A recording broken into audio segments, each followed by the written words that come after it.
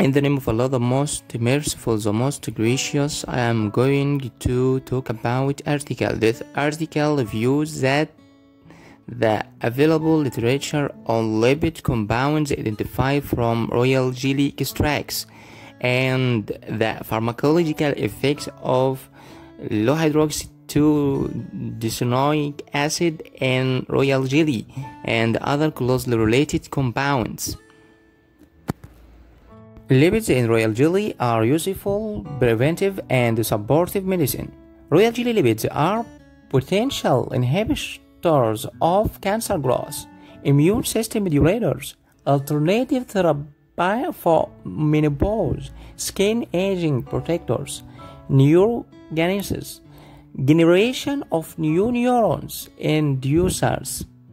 Overall, the lipids in royal jelly are composed of mostly aliphatic fatty acids, almost all of which are present as free fatty acids and scarcely any as esters. Most of the fatty acids in royal jelly are medium chain fatty acids.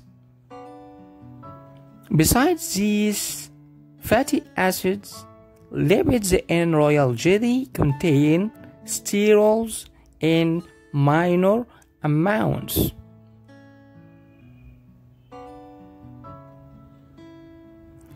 This evidence suggested that health protecting properties of royal jelly can be in part ascribed to actions of lipids in royal jelly.